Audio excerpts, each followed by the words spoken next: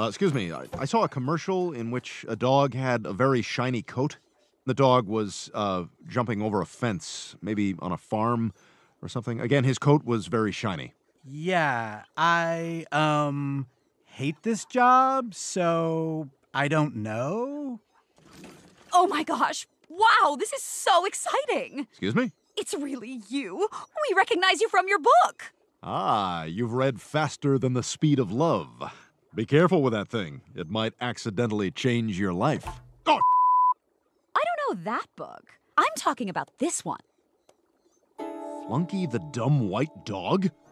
By Griffin Stewart?